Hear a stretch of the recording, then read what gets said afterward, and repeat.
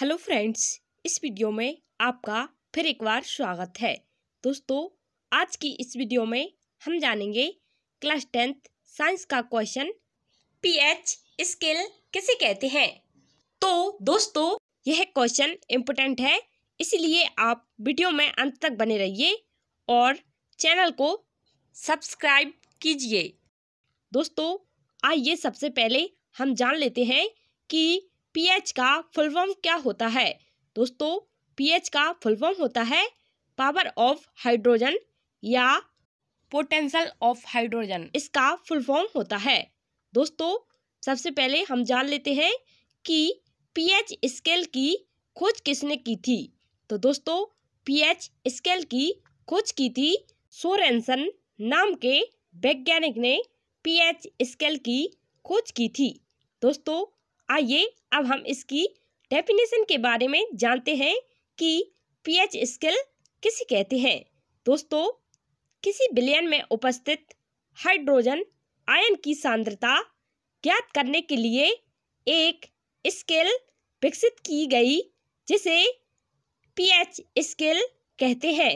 दोस्तों, यह इसकी परिभाषा है कि किसी बिलियन में उपस्थित हाइड्रोजन आयन की सांद्रता ज्ञात करने के लिए एक स्केल विकसित की गई, जिसे पीएच स्केल कहते हैं। दोस्तों, पीएच स्केल ज़ीरो से चौदह तक की एक स्केल होती है, जिसमें ज़ीरो से लेकर चौदह तक पीएच मान दिए होते हैं। दोस्तों, जैसा कि आपको डायग्राम में दिखाई दे रहा है, पीएच स्केल इस प्रकार की एक स्केल होती है। दोस्तों पीएच स्केल यह दर्शाती है कि जिस भी किसी पदार्थ का पीएच मान यदि सात होता है तो वह उदासीन होता है। और यदि किसी पदार्थ का पीएच मान सात से कम होता है तो वह अम्लीय होता है। और यदि किसी पदार्थ का पीएच मान सात से अधिक होता है तो वह क्षारीय होता है।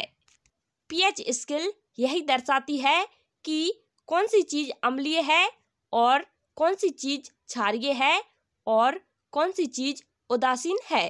तो दोस्तों, यही प्रकट करती है पीएच स्केल। दोस्तों, पीएच स्केल की सहायता से हम यह ज्ञात कर सकते हैं कि किस चीज़ का पीएच मान कितना है। दोस्तों, आइए अब हम जानते हैं कुछ महत्वपूर्ण पदार्थों के पीएच मान कितने होते हैं।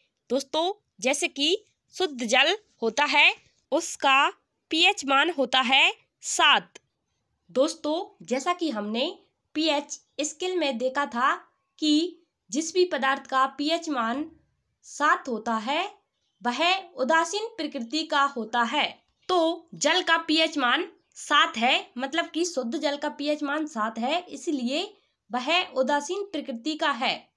और दोस्तों इसी प्रकार रक्त का पीएच मान सात दशमलव चार है, यानी कि सात से अधिक है तो वह क्षारीय होगा।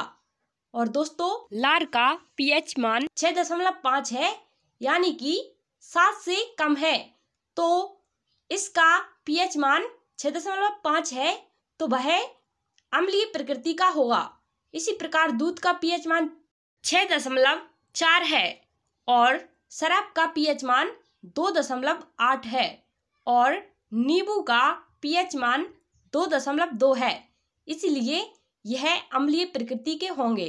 दोस्तों, लार अम्लीय प्रकृति की होगी और दूध, शराब और नींबू, ये सब अम्लीय प्रकृति के होंगे और शुद्ध जल उदासीन प्रकृति का होगा और रक्त क्षारीय प्रकृति का होगा। तो दोस्तों, यही इंडिकेट करती है पीएच स्किल उम्मीद करती हूँ दोस्तों, आपको वीडियो पसंद आई होगी। अगर वीडियो हेल्पफुल लगी हो तो वीडियो को लाइक कीजिए और चैनल को सब्सक्राइब कीजिए। Thanks for watching thank you